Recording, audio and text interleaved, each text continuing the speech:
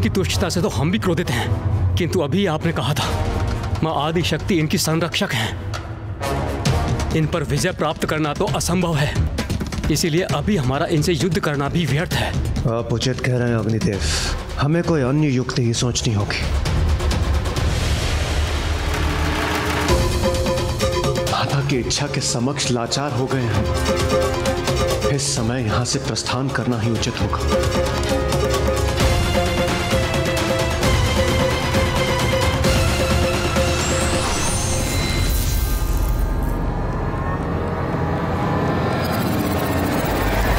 असुर सम्राट की। जय! असुर सम्राट की। जय! असुर सम्राट की। असुर सम्राट की। हमारी रक्षा करने के लिए कोटि कोटि प्रणाम माता।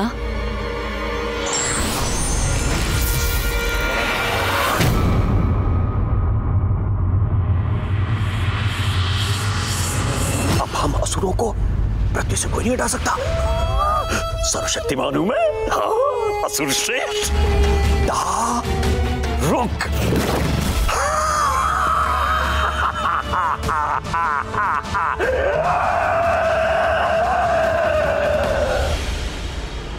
आप उन ऋषियों की रक्षा करने में असमर्थ रहे देवराज।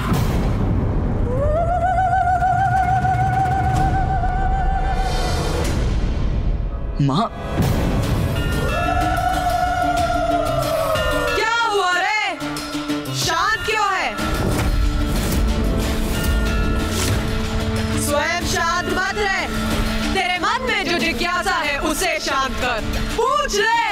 ये आपकी कैसी विचित्र लीला थी? असुर अपने अत्याचार का विस्तार करते रहे और आपकी सुरक्षा कवच के कारण सुरक्षित भी रहे। देवता ऋषियों की रक्षा करने में भी असमर्थ हो गए। तुझे ये ज्ञात होना चाहिए कि मैं जो भी करती हूँ, उसके पीछे कोई बड़ा कारण अवश्य होता है।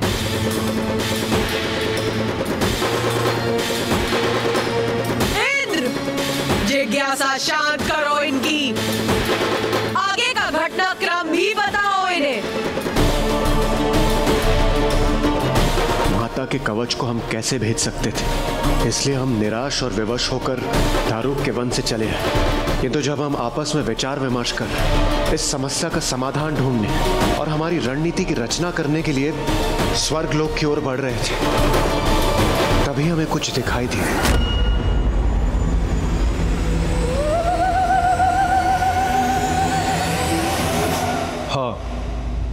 दारुक और उसके असुरों के द्वारा फैलाए गए विनाश के मध्य में उन सबसे अनछुआ पावन।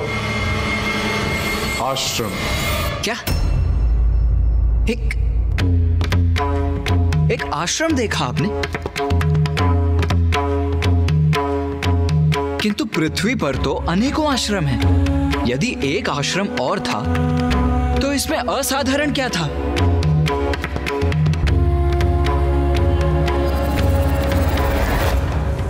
बात है असाधारण। अद्भुत बात है भैया। इतनी साधारण घटना में गणेश को क्या असाधारण दिखाई दे रहा है? दारुक ने पृथ्वी को आतंकित कर दिया था। चहु दिशाओं में विनाश ही विनाश किया था उसने। उसके असुर सैनिकों ने सभी ऋषि मुनियों को बंदी बना लिया था। उनके आश्रम भी नष्ट कर दिए थे। ऐसी अवस्था में यदि देवताओं को इस विनाश से अनछुआ आश्रम दिखाई दिया तो ये तो वास्तव में बहुत ही अद्भुत घटना है भैया। हाँ ये तो गणेश उचित कह रहा है। इतने विनाश में वो आश्रम कैसे सुरक्षित रहा? वो किसका आश्रम था माता?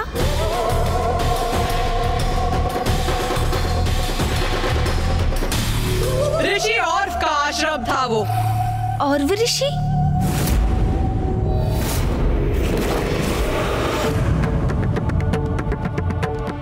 उस आश्रम को देखकर हम आश्चर्यचकित थे, जो इस विनाश के मध्य अनछुआ खड़ा था, जिसे देखकर हमारे मन में एक जिज्ञासा जागी और हमारी जिज्ञासा को देव ऋषि नारद ने शांत किया। उन्होंने बताया कि ऋषि और अत्यंत तेजस्वी ऋषि हैं।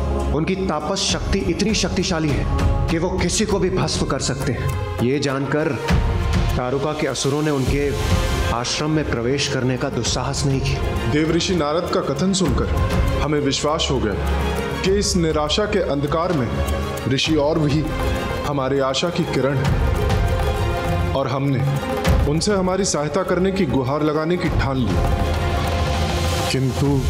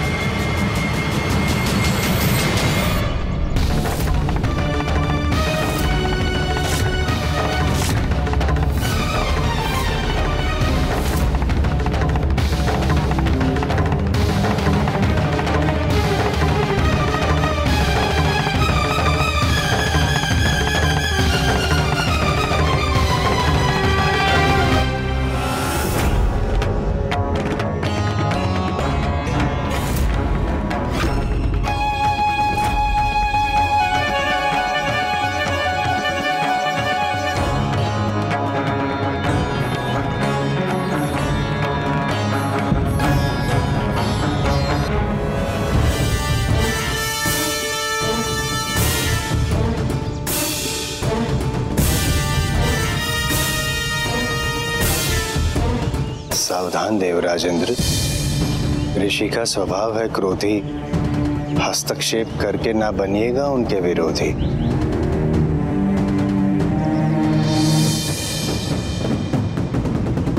प्रणाम ऋषिवर। प्रणाम ऋषिवर। प्रणाम ऋषिवर। देवर्षि नारद अब कौन सी अग्नि प्रज्वलित करने आए हैं यहाँ? अग्नि? कैसी कर रहे हैं आप कथनी? ऋषिवर?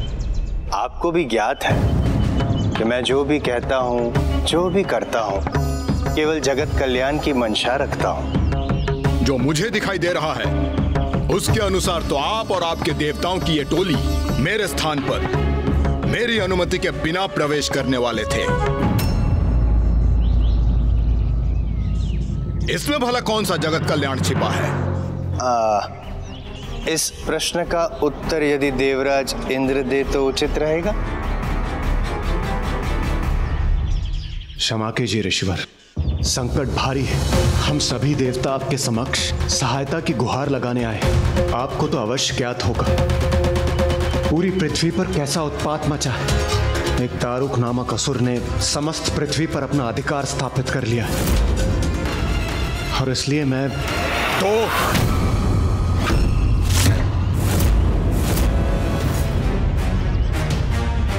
आप सभी देवता तो योद्धा हैं। आपको उस असुर को पराजित कर पृथ्वी से खदेड़ देना चाहिए।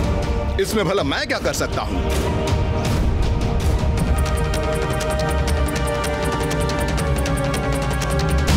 हमने युद्ध किया दारुक से, किंतु उसे पराजित नहीं कर सके। अनेकों ऋषियों को बंदी बना रखा है उसने। निर्बल और निर्दोष लोगों को वो अपना दास बना रहा है।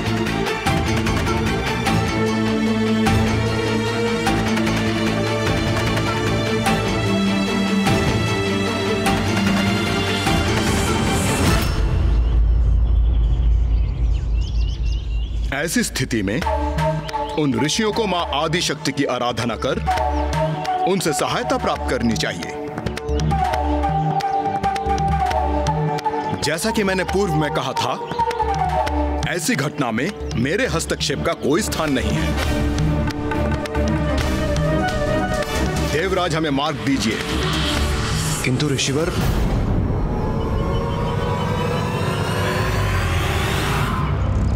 क्षमा ऋषिवर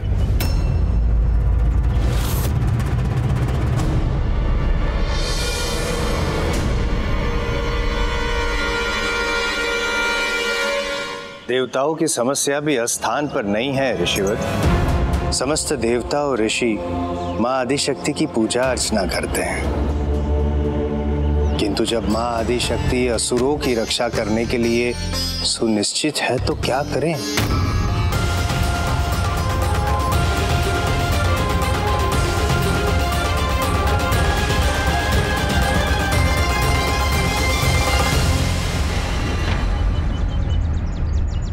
असुर समस्त ऋषियों को प्रताड़ित कर रहे हैं। ऐसे में देवता और ऋषि किसके पास जाके रक्षा की गुहार लगाए हैं ऋषिवर?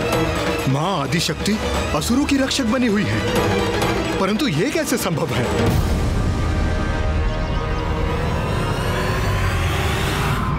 अति उत्तम। अत्यधिक सुख की अनुभूति हो रही है प्रिय। पृथ्वी पर हमारा अधिकार। हाँ स्वामी।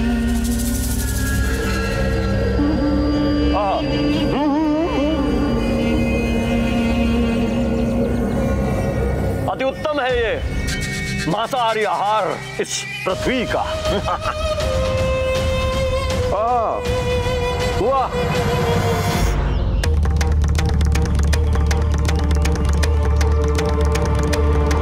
अब आप ही बताइए ऋषिवर ऐसी अवस्था में हम सहायता की आस लेकर किसके पास जाएँ?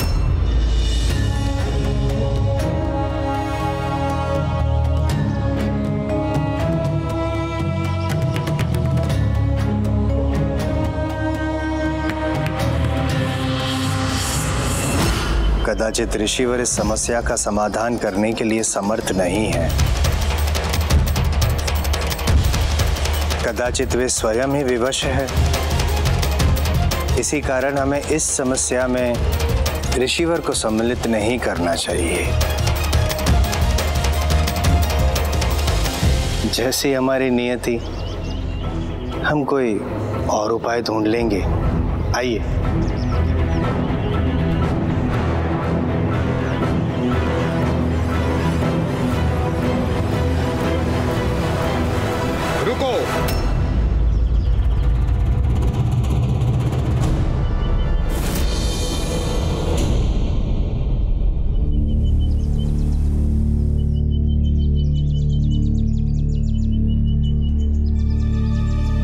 गया ऋषिवर। माँ आदिशक्ति मेरी और आप सभी की माता हैं। सत्य वचन यदि उन्होंने असुरों की रक्षा करने का चुनाव किया है तो कदाचित उन्हीं के दिए हुए किसी वरदान हेतु वो विवश हैं। या ये उनकी लीला है जिसे हम समझने में असक्षम हैं। किंतु मैं माता के सर्वोच्च भक्तों में से एक हूँ और निर्दोषों का रक्षण करना मेरा धर्म है। यदि माता असुरों को संरक्षण देना चाहती हैं तो यह उनकी इच्छा है। किंतु ऋषियों की रक्षा करना मेरा धर्म है। मैं करूँगा उन ऋषियों की रक्षा। मैं करूँगा उन ऋषियों की रक्षा। मैं करूँगा उन ऋषियों की रक्षा।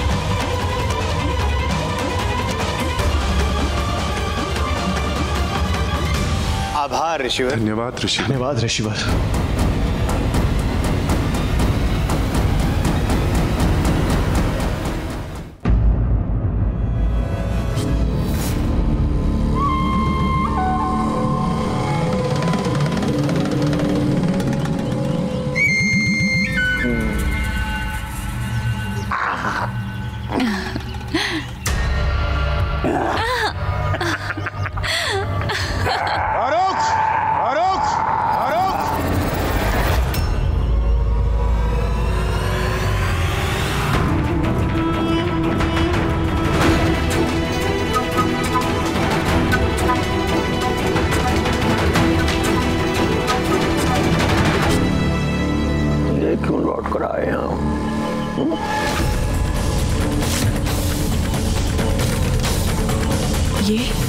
देवतागण फिर आ गए यहाँ। अब तुम्हारे आतंक से मुक्त होने का समय आ गया है दारोक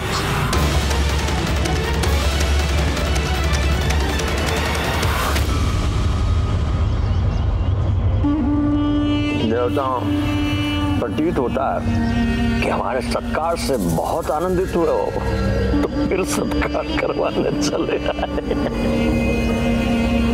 करेंगे पहले भोजन ग्रहण कर। दारुक हम देवता अत्यंत उदार हैं। यदि जो कुछ भी किसी से पाते हैं उसे उससे भी अधिक मात्रा में पुनः लौटा भी देते हैं।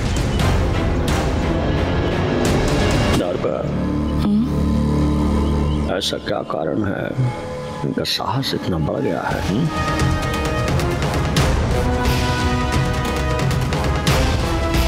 किसके बल पर इतना उत्साहित है ये देवगढ़? कि फिर से हमारा सामना करने चले आए?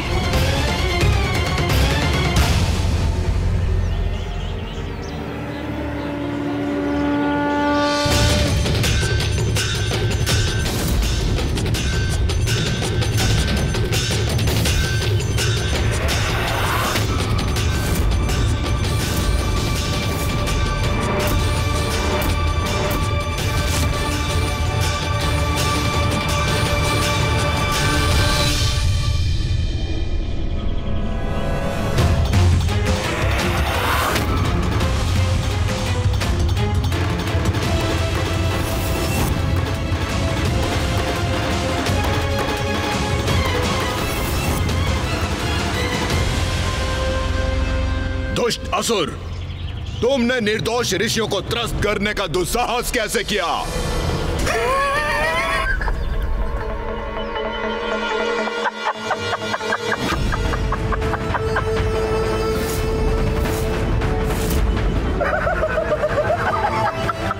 इस दुष्ट का यह अठोस असहनीय है मेरे लिए। मान गए देवराज इंद्र, मान गए। तुम्हारी बुद्धि और शक्ति।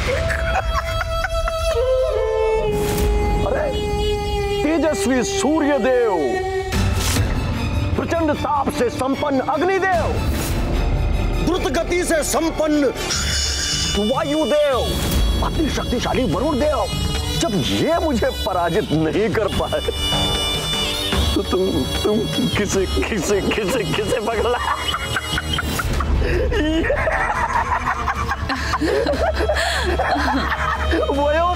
ऋषि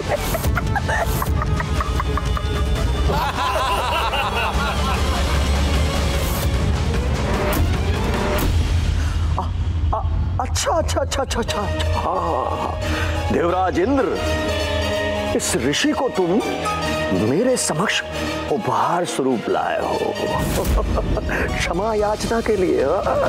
ताकि मैं तुम्हारी उद्दंडता को क्षमा कर सकूँ तुम बड़े चतुर हो देवराज, इंद्र, तुम जानते हो कि मुझे इन ऋषियों का कोमल मांस कितना कितना प्रिय लगता है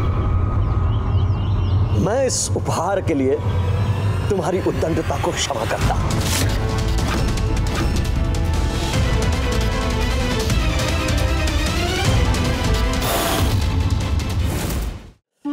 अच्छा देवराज इंद्र पहले पहले इस ऋषि को मेरे निकट लाओ। मैं देखूँ तो सही। ये मेरे खाने योग्य है या मेरे दास बनने योग्य है? कि हमेशा मैं इससे अपनी सेवा करवाता रहूँ।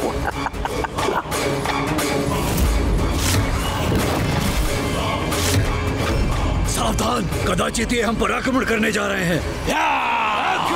देवगण!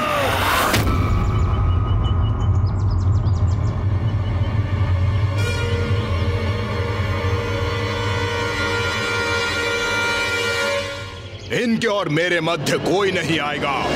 कोई भी नहीं। आप सभी समझ गए ना? मेरे इस आदेश का उल्लंघन नहीं होना चाहिए। उचित है, ऋषिवर।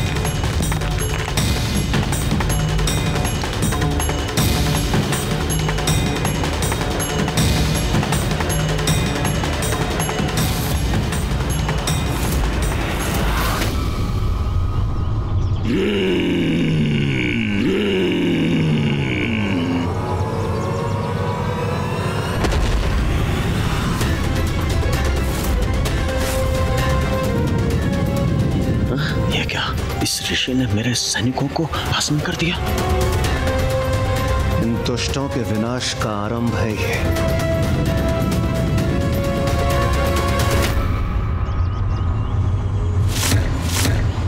मैं ऋषि और दारुक और उसके असुरों को शाप देता हूँ।